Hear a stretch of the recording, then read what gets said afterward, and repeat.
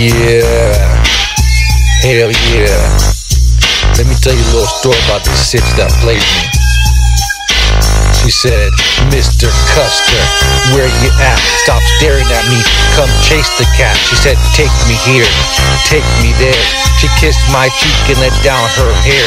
She had me in a daze. I was spending cash. It was all a blur. It went by so fast. I figured by lunch I'd be tapping that ass. Then she wanted dinner and more shopping. I just wanna get into the booty popping.